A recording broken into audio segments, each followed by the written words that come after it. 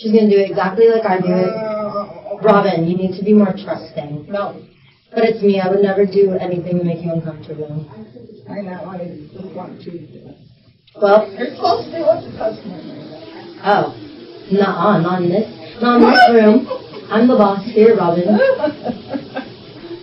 I'm not paying her, I'm paying you. Nope, but I pay her, so she does what I say. And Oh, come on, Karen. You'll be Want to fine. leave? you want to leave?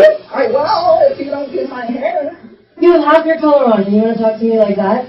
Yeah, Robin! sure. Robin, she's my assistant. She I does. hair. I want you to do my hair. I'm Robin. gonna tell you again. Robin, don't talk to me that way. I can't. You can go. No, you're not going to talk to me that Oh way. my God. Robin, you you do don't- me like this? Robin, you're not going to talk to me disrespectfully. And Well, then then you don't either. I'm I'm paid not. to have you do my hair. You're right. I want you to. Right, and just relax. Take a I breath. I will. Take a breath. Robin, you can't talk to people like that and think that people are just going to, like, do whatever you say. I came to get my hair. I know, and I am running a full-blown business, and I'm training Oh, someone, and she, on, wait, Sharon. wait, really, honestly, Robin, if you don't want to hear me out and, like, get to the resolution of this, you can leave with half your color on. Are you gonna fucking hit me? Robin, get the fuck out. Robin, get out, and do not cause a scene in my business. You just almost went to hit me, and you know what? Oh, It's on camera.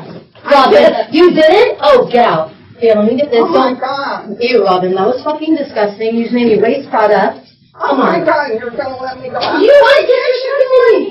Look how you just spoke to me and like she just saw My that. Robin, I'm just having.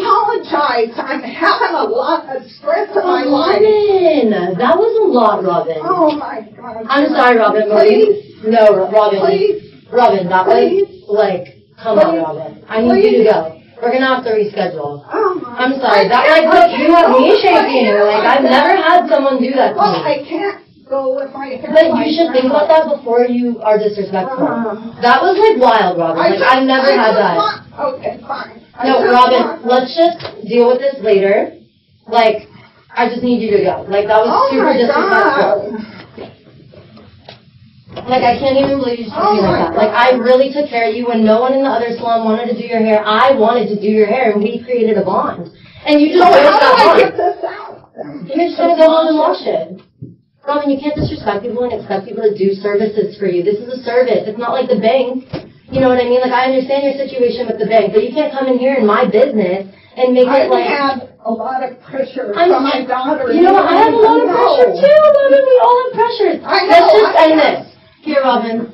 Honestly, I Oh appreciate you. God. Like, I'm wasting so much product, and like, I don't want you to waste your time, but that was a lot. Like, I'm gonna need you to go. Okay,